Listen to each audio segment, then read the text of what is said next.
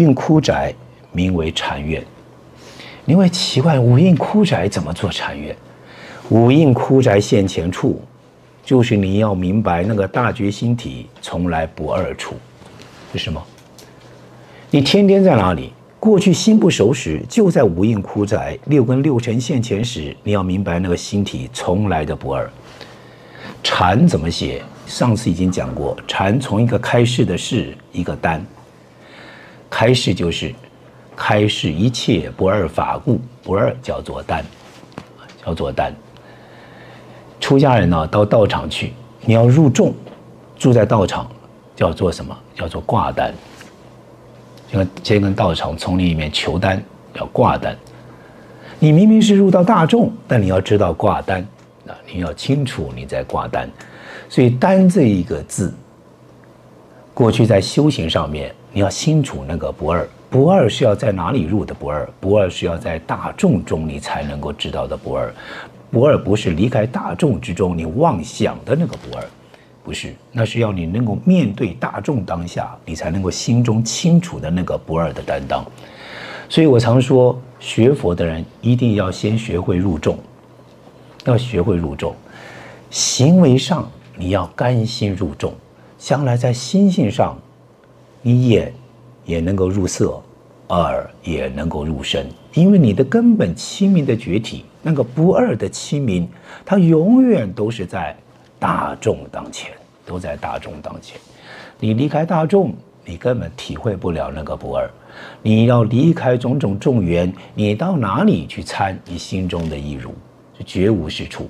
就是怕我们凡夫修行时心中没有这种担当，没有这种认知，没有这种智慧，所以叫你修行当下生根行为，先要懂得甘心入众，要甘心入众，就在大众中，眼睛看的就是大众熏习的这种氛围，这种精进；耳朵闻的就是大众声音之中念念之间的那种精进办道的声音。大众，你看到说是众缘，所有的一切同参道友办道，将来。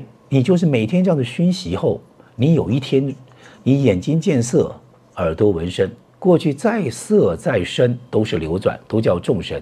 将来突然你会发现，再色再声，每一个众生相现前，它好像就有什么精进半道的精进，就好像都有如同你住进道场、住进丛林一般那种同参道友念念向佛的发心。那这种感觉从哪里来？这种心中的智慧从哪里来？就你入众去大众熏习的氛围中来的。你常常在众缘上眼睛见色，都是大众用功的声音。将来我说的是在丛林中，你看到都是同参道友，眼睛见的都是大众用功的现象。将来你看到你的色尘，也就变成了同参大众用功回头的力量。所以到丛林才能保任你将来啊。呃，道心不退，是吧？丛林也是让你去念念去培养、去培植你心中的资粮，那都是培福，那培那个福。所以福字都要写什么？中国的福字就开示的是，也是一开始的是一口甜，从来不是二口，就一口甜。那一口告诉你，那就是心中明明白白的一口甜，就是老老实实的耕耘。你能够明白那心中从来不二的一口念念念念之间老实的耕耘，这就是培福的地方，那就是培福的地方。出家人穿的那个衣服叫什么？叫福田衣。福田衣，出家人的衣服上面是割节，割节就是一块一块的布缝在一起，割节叫福田。他是告诉你，你的决心现前时就是割节，对吧？决心在眼。叫见就割节了，决心在见，就现到色又割节了，都是割节。所以你要搭上割节衣，就表示你要面对如是割节法。在哪里说的面对？在你决心体上。为什么在决心体上？因为我们是向佛道的人，向佛道的人就是唯一遵行这个大觉体上。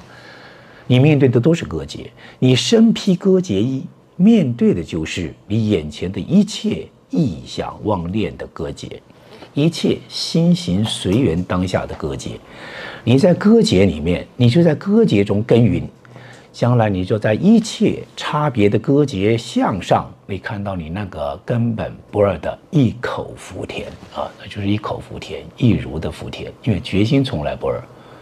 但是现前的一定是割节，一定是割节，在眼叫见割节，在见是色割节，在色是情割节，它就一段一段的割节。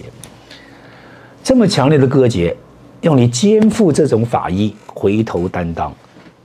那叫福田意，那叫福田。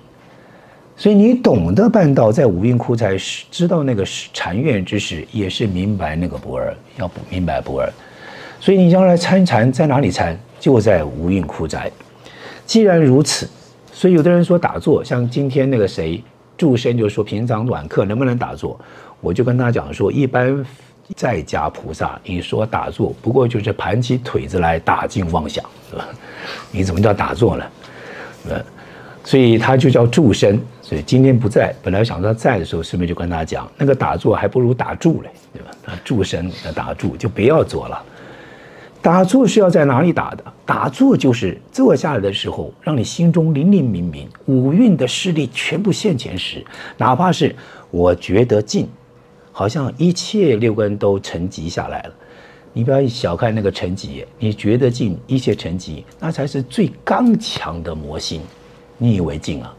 当你执着那个静时，就跟你将来执着乱时是同等业力啊！躲在乱里面是同等业力，那是刚强的魔心。所以不管你静，不管你动，不管你心中在涣散，随你心中的变化，再静、再动、再涣散，你都要守住那个五蕴枯宅。要看清楚，所以坐下来不是求静，求明明白白。所以有的人打坐，他不懂道理时，坐下来静，他就沉迷于静中。这种不是坐，这种是沉闷法身而已。这种人再要是坐下来时，真正打坐的人，要是静时，觉得很安静时，心中的明白要现前，觉得静者谁？你都能够清清楚楚看的，觉得安静。都有几个心清清楚楚看得安静，因为那念决心不属于安静，所以将来因为心情都是一定是这样反复轮回的。他突然觉得有动的时候，也知道觉得动者谁；觉得乱的时候，也知道觉得乱者谁。那才叫坐哎，那坐在哪里？